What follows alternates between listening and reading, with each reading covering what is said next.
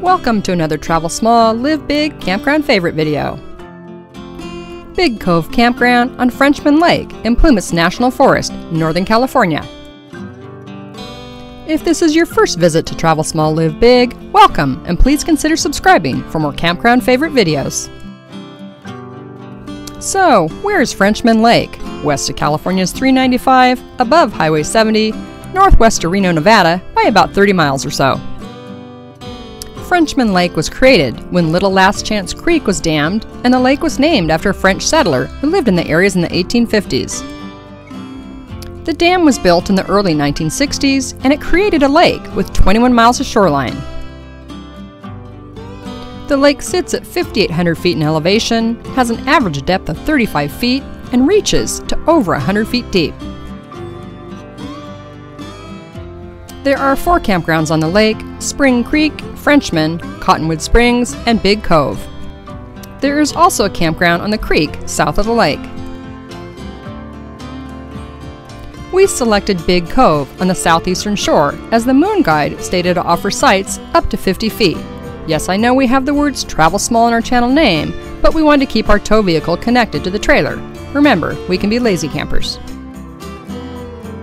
And why did we go here? It was a good stop, not too far off of Highway 395 on our way south from Oregon. And hey, more videos on our annual Oregon trip soon.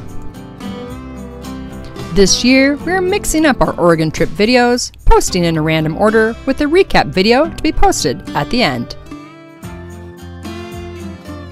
And why else did we go here? Water, of course, for the Black Lab. And it's gorgeous. What does it offer besides beauty and a lake? 42 sites, 10 of which are doubles. If you select a site marked with a D, expect to pay for that site double. There are the standard picnic tables and fire rings at each site. There's drinking water, garbage service, and flush toilets.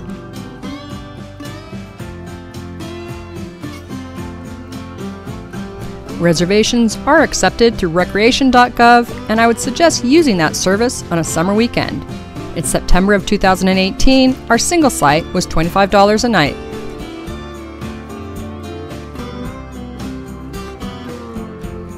I think the best views are from Site 26 or 28. We selected Site 29 as 26 was taken and we thought we'd park a little further away from them.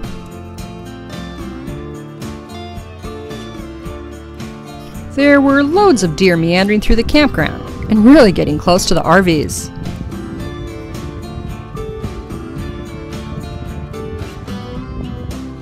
There are a few little trails that lead to the shore and a nice sandy beach. The lake was a nice temperature, good for swimming, and this is where Lexi turned into a puppy. A beautiful view, a pretty lake, and a quiet afternoon and evening at Big Cove Campground at Frenchman Lake.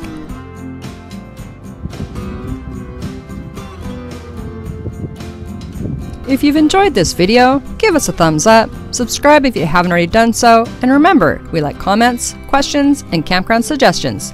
Thanks for watching!